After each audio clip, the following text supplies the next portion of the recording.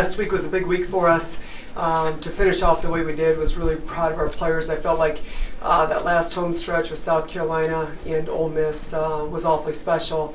I don't know that you could script a senior night to go any more perfect than what it did and just to be able to sustain um, just our focus uh, going into a big game against Alabama. Uh, I think our girls were mentally and physically, uh, emotionally drained a little bit, and we knew it was a big, big opportunity for us on the road. So to be able to come away from Alabama with a with a big win was was really important to us. We wanted to feel like we've earned that number three seed and, and didn't want to get it by default. And so, uh, really proud of our kids uh, for finishing up the regular season on such a strong note.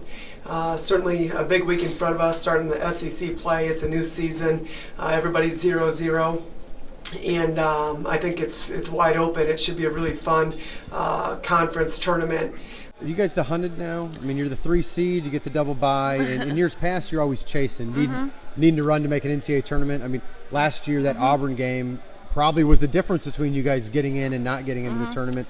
This year, totally different scenario for you guys. Yeah, so. um, it's awesome. Very happy where we're at, but not satisfied. I think um, we we're just we worked hard for where we're at right now, but like I said, we're not satisfied. We want more.